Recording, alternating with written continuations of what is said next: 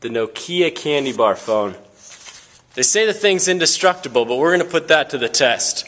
Sorry there was no updates last week. Couldn't get into my lock. I forgot the combo.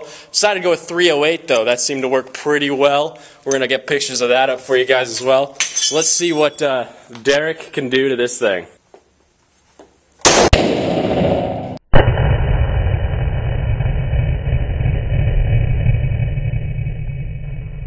That was pretty awesome. We'll see if we can find some pieces of this thing coming in.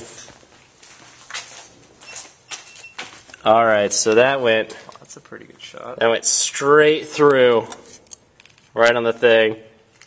Battery straight straight through the battery. We got the back case here. I think it's fairly safe to say that would not uh, that would not save your life. So we'll uh, find something else, put a hole in it. See you next week.